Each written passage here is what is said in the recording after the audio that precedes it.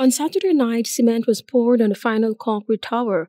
Minister of Public Works Juan Edghill, along with his team and local engineers, visited the site, joined by the contractor, China Railway Construction International Limited.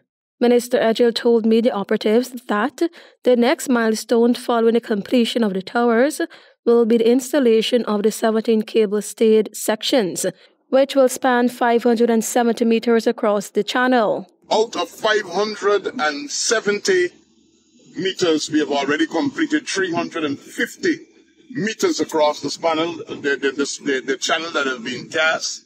So we have two, another 220 meters, and then we will connect the bridge. The minister added that regarding the spans on a cable stayed section, 11 out of 17 are already completed, with over 1,300 workers, more than 100 of them Guyanese, working around the clock. The senior public works minister noted that the project is progressing with stealth and speed. Everything is on track. Everything that is needed for the bridge, which we were nervous about, is in country.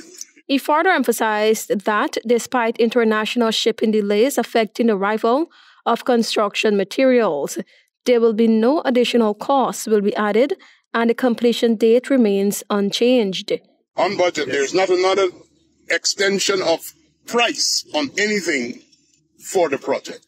262 million US dollars, 262 million US dollars. And will it close the debt? We are, we are finishing the project within budget. Once completed, the bridge will link regions 3 and 4, boosting economic activity. The toll free crossing will accommodate vehicles of all sizes and will feature a bicycle lane and a 50 meter fixed high span, eliminating the need for bridge closures due to marine traffic. Tiana reporting for the HGP Nightly News.